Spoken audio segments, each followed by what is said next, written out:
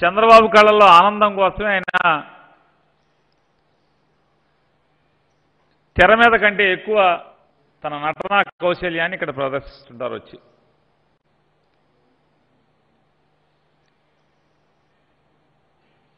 ఆయనకి బాగా అలవాటైపోయిన వ్యవహారం మాట మాటి వైసీపీని కూల్చేస్తాను వైసీపీ కూల్చే ఎలక్షన్ ఎలక్షన్కి. రెండు వేల పద్నాలుగు రెండు వేల పంతొమ్మిది రెండు వేల ఇరవై నాలుగు రెండు వేల ఇరవై తొమ్మిది. ఇలా ఎన్నికల సంవత్సరాలను చెప్తూ ప్రతి ఎన్నికలకి కూడా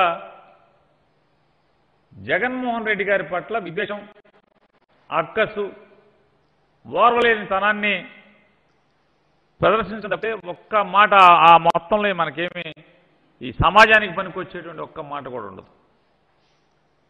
అంటే ఇప్పటం గ్రామం గ్రామ ప్రజలు గడప కూర్చారు కాబట్టి వైసీపీ గడప కూల్చేస్తానంటాడు పాపం ఎవరో సినిమా రైటర్ రాసి ఇచ్చినట్టున్నాడు ఆయనకి.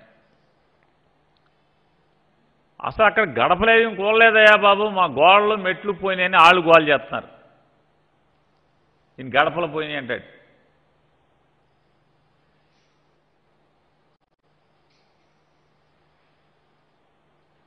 ప్రభుత్వంలోకి వచ్చినా రాకపోయినా ఇప్పడం వాళ్ళకి కష్టాల్లో ఉంటే వాళ్ళు ఇప్పడం వాళ్ళకి అండగా ఉంటానంటాడు.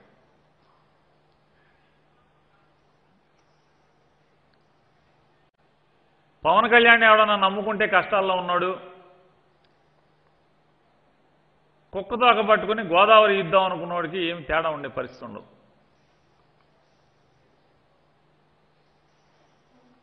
అసలు ఒళ్ళంతా ఆమదం పూసుకుని దొరకకుండా పారిపోయేటువంటి రకం పవన్ కళ్యాణ్ గారు. ఒకటే ఆరా ఇన్ని సంఘటనలు? ఆయన అంటారు ఇప్పటి వాళ్ళు పోరాటం చేసినట్టు అమరావతి వాళ్ళు కూడా పోరాటం చేస్తే ఏదో జరిగిపోయేదంట. అసలు ఇప్పటి వాళ్ళు ఏం పోరాటం చేశారు? ఎవరు చేశారు?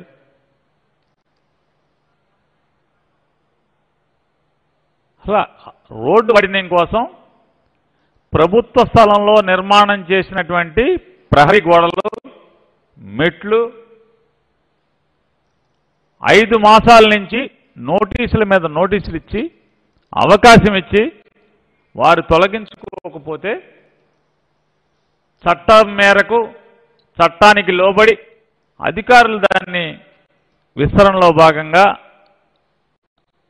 అవి తొలగిస్తే ఎంత యాక్షన్ చేస్తున్నాడు ఎంత సమస్య ఏదో పెద్ద పొన్నంత వెలిగి పట్టే ఎలిగిని పట్టేసి అన్న సామెతగా జరుగుతుంది ఇదంతా కూడా. ఈ చివరికి ఏమైపోయింది అంటే ఇదంతా పరిస్థితి చూస్తుంటే దేశాన్ని వెళ్తాను దేశాన్ని వెళ్తాను చెప్పి వచ్చి రోజు చండి చంద్రబాబు సావాసం అలవాటు అయిపోయింది కాబట్టి చంద్రబాబు ఏమో ఇరవై మూడు గ్రామాలని కొద్ది మంది డబ్బున్న రైతులకు పరిమితం అయిపోతే ఈయనేమో అసలు మామూలుగా చెప్పడంలో అసలు ఈయనకి ఎవరున్నారు లేదు తర్వాత సంగతి కానీ ఎంతమంది ఉన్నారు తర్వాత సంగతి కానీ ఆ ఇప్పటంలోనే గిరగిరా తిరుగుతున్నాడు. అదేదో నమ్మకం దొరికిందని చెప్పని. ఏముంది అసలు అక్కడ? ఎవరిని ఇబ్బంది పెట్టింది ప్రభుత్వం?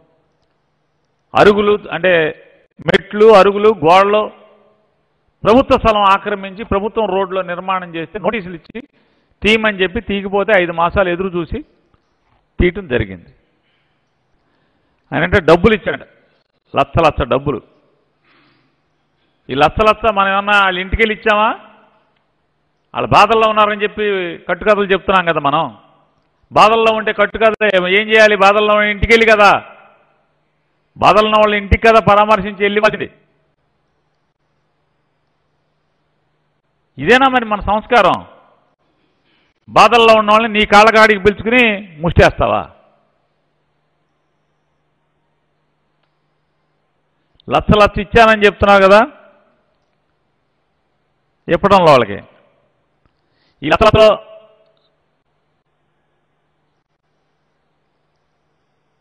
నీ బలవంతం మేరకు సాధారణంగా రైతుగా జీవించేవాడు ప్రాణం పోయినా అబద్ధం చెప్పటానికి ఇష్టపడ్డు.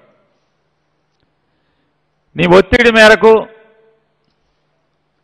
తప్పుడు కాగితాలపై వాళ్ళతో ఏలు ముద్రలేయించి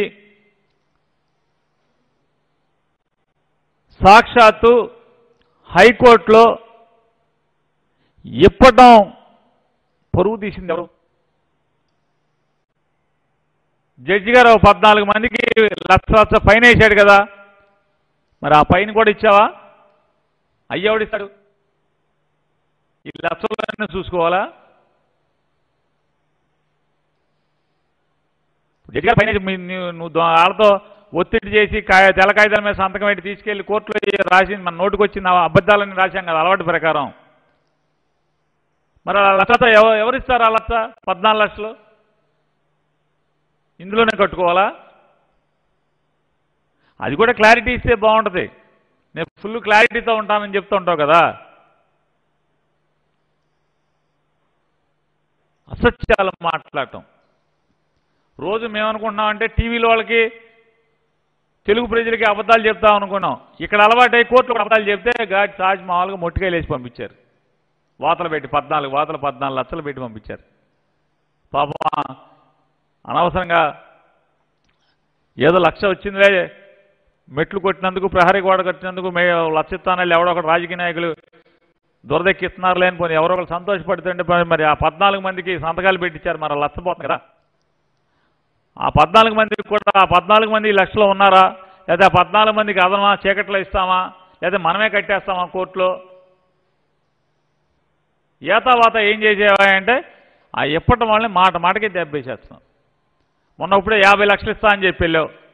పబ్బులంతా లాస్ట్ ఎదురు చూస్తున్నారు. యాభై వస్తున్నాయి వస్తున్నాయి అని. అక్కడి నుంచి ఏం రావు. హైదరాబాద్ నుంచి ఇక్కడ దాకా రా ఇప్పటం రావయి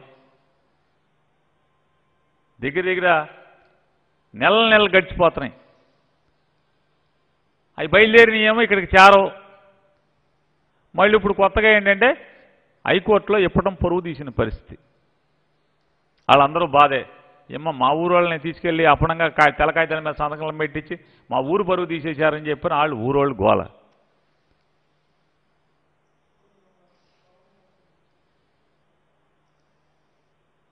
అమరావతి వాళ్ళు తెగు చూపిస్తే ఎక్కడికి వెళ్ళేది కాదు. ఇప్పుడు అసలు ఇప్పటంలో ఏం తెగు ఏం జరిగింది ఏం ఆగిపోయింది?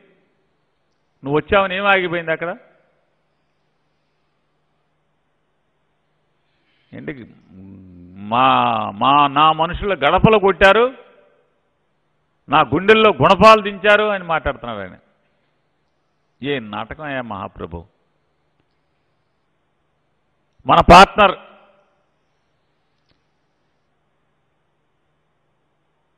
నిన్ను ప్రేమగా గుండెల్లో పెట్టుకుంటా అని చెప్పని నాటకాలు చేస్తున్నటువంటి చంద్రబాబు నాయుడు నీ ప్రభుత్వం మీ ఇద్దరు జాయింట్ ప్రభుత్వం ఉన్నప్పుడు అమరావతి పేరుతో ఉన్నటువంటి గ్రామాల్లో అడ్డగోలుగా దౌర్జన్యంగా పోలీసులతో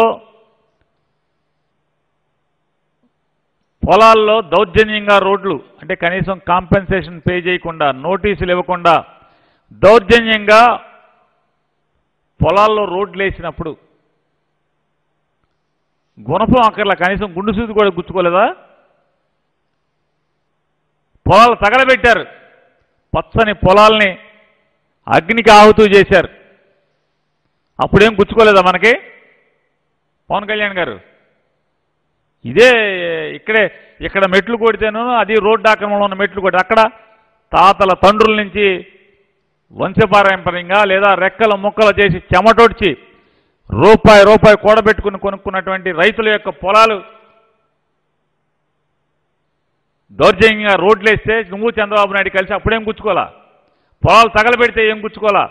పోలీస్ స్టేషన్లు తీసుకెళ్ళి పొలాలు మాకు అప్పచెప్పబోతే లాఠీలు పెట్టి కుళ్ళబొడిస్తే అప్పుడేమి